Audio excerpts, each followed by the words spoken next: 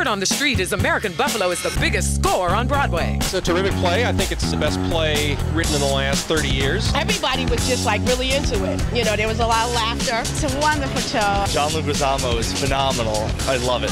I thought this show was excellent. I laughed through the whole thing and I didn't expect to cry at the end. Just great energy, and especially between Leguizamo and Cedric the Entertainer. They had great chemistry together.